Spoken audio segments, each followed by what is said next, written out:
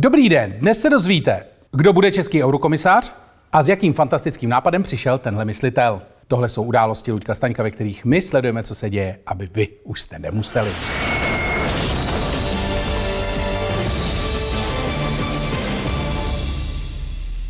Dnes je 13. června a to je den, kdy jsme byli seznámeni se zásadní zprávou prostřednictvím serveru CNN Prima News. Spověď exorcisty. Viděl jsem démony levitovat, zájem o vymítání roste. Proč se daří satanovi? Odpověď samozřejmě neznáme, ale naštěstí experti mají naprosto jasno. K úspěchu mu pomohly čtyři faktory. Vysoký zisk nikdo nečekal, popisují experti. Takže tuhle otázku jsme vyřešili a můžeme jít na krátký přehled zpráv. Ženy pod dohledem kamer okradly spícího muže. Peněženku však měl prázdnou. Smutná příhoda, ve které se zrcadlí marnost lidského snažení tváří tvář všudy přítomnému špiclování státu a fialově drahotě. Vysvětlení celé věci se nicméně nalezá ve faktu, že k události došlo na nádraží v Ostravě. Jako když někdo spí na nádraží, pravděpodobně proto, že nemá ani vidru. Ale vysvětlujte to lidem v Ostravě, že jo? Pavel ocenil Čaputovou řádem Bílého lva. Sám od ní dostal nejvyšší slovenské státní vyznamenání. Češi a Slováci si nikdy nedali nic zadarmo a tohle je další důkaz. S ocenění vyznamenáním se tak stává spíš sběratelská burza, ale gratulujeme oběma ke skvělému úlovku. V Českém frčí automobilová krása odstartoval legendární závod a o hvězdy není nouze.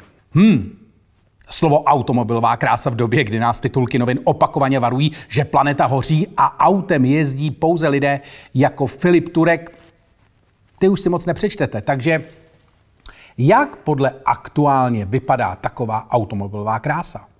OK, tak automobilová krása vypadá jako každý všední den na D1 před Brnem. Všechno v pořádku.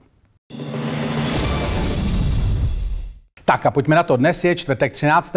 To už jsme říkali. A to je ještě strašidelnější než pátek 13. Protože je 13. ale ještě není pátek. A proto se dneska podíváme na něco, co nahání hrůzu spoustě z vás. Na Evropskou unii. Protože celý tenhle týden se věnujeme dopadům evropských voleb. Dostává tohle, smutný okamura tamto. Ale pořád jsme ještě nemluvili asi o tom nejdůležitějším, co tam Česká republika vyšle.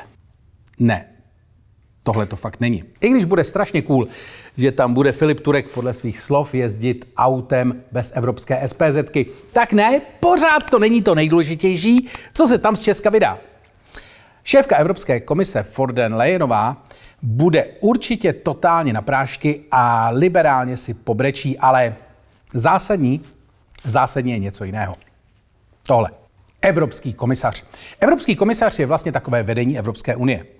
Ta má 27 členů, takže mentálně rychlejším z vás už určitě došlo, že každá země tam dosadí jednoho člověka. Za nás to posledních deset let byla Věra Jourová, tady viděna s fantastickým šátkem, který si koupila za svůj fantastický plat. A Jourová se upřímně celkem prosadila. Nevíme sice čím, ale třeba časopis Time ji zařadil do žebříčku 100 nejdůležitějších lidí na světě. A to prostě je velký úspěch, který se nemusí dlouho opakovat. I když zase zatím netušíme, co tam bude Klára Dostálová předvádět, takže držíme palečky. Důležitější ale je, že každý komisař dostane na starost nějakou oblast. A ne všechny oblasti jsou si rovny. Což je paradoxní, protože Věra Jourová v prvním volebním období řešila zrovna rovnost pohlaví. a v tom druhém hodnoty a transparentnost. A já nechci tvrdit, že na těchto agendách vůbec nezáleží. Ale ve srovnání s jinýma jsou to tak trochu ceny útěchy.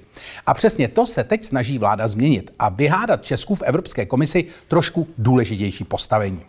Protože by bylo super mít tak parádně pojmenovanou oblast, jako třeba hospodářství ve prospěch lidí.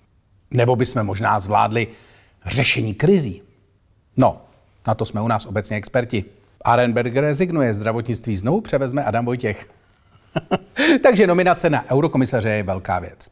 A možná si říkáte, že právo ho vybrat by měla mít nejsilnější strana. Ale bohužel už i Karel Havlíček dosáhnul vrcholu svých sil. A navíc jsou podle několik let starých vládních dohod první na tahu starostové. A tady to začíná být zábava. Asi si totiž pamatujete, že starostové v posledních volbách do sněmovny nekandidovali sami. Oni do toho šli v rámci neskutečně originálně pojmenovaného PIR stanu. A Piráti by chtěli do nominace promluvit. Problém ale je, že zatímco starostové v těchto eurovolbách oproti těm minulým alespoň jeden mandát získali, tak Pirátům zbyl jenom jeden europoslanec a ani to není ten, co si hrál na syna božího. Pozdrav pán Bůh.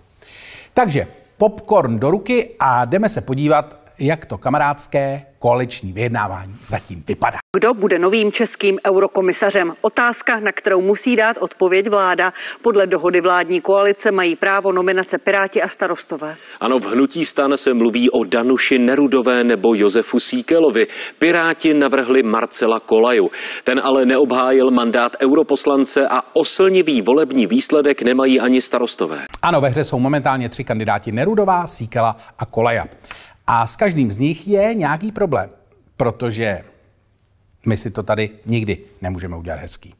Tak pojďme začít s první z nich, Danuší Nerudovou. Danuše Nerudová se do Evropského parlamentu nějakým způsobem protrápila, ale na pozici eurokomisaře, respektive eurokomisařky, to asi úplně není. Hlavně teda proto, že tam nemá moc co dělat.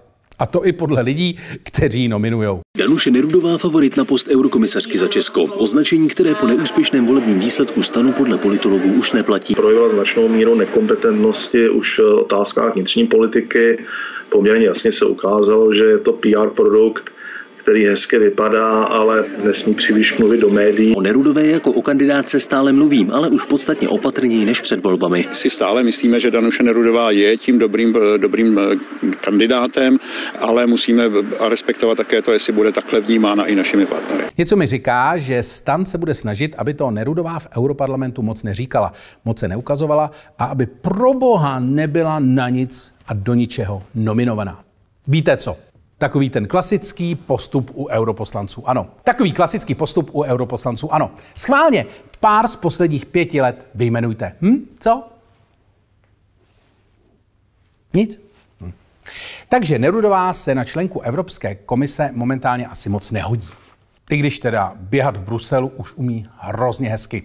Druhou možností je ministr průmyslu a obchodu Josef Síkela. Tou má být ministr průmyslu a obchodu a bývalý bankéř Josef Síkela. Premiérovi Petru Fialovi, který už měsíce o úloze nového českého eurokomisaře vyjednává, by se zamlouval post s ekonomickou agendou třeba pro ochranu hospodářské soutěže. O tom e, má právo rozhodnout vláda a ta určitě rozhodne. Hele, má někdo sebe menší tušení, proč v té reportáži byl Fiala za SPD?